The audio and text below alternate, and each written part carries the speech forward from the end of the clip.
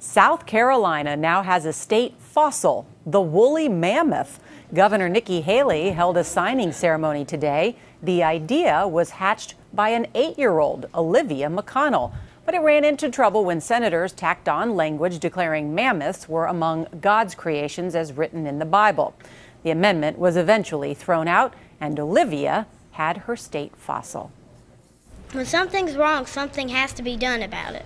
You can't just let it go if someone someone out there who has a real big heart and believes strong, anyone can make a difference.